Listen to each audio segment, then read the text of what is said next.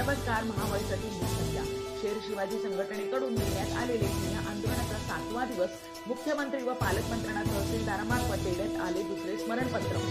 आता सविस्तर बातमी. तालुक्यात चक्काजामचा जिल्हा इशारा नागपूर नरखेड तालुक्याचा तीव्र दुष्काळग्रस्त तालुक्यांमध्ये समावेश करण्यासाठी शेर शिवाजी संघटनेकडून तहसील कार्यालय नरखेडचा समोर सुरू असलेले बेमुदत या आंदोलन आज सातवा दिवस होता. आज संघटनेमार्फत व नरखेड तालुक्यातील शेतकऱ्यांकडून मुख्यमंत्री व पालकमंत्री यांना दुसरे स्मरणपत्र देण्यात आले.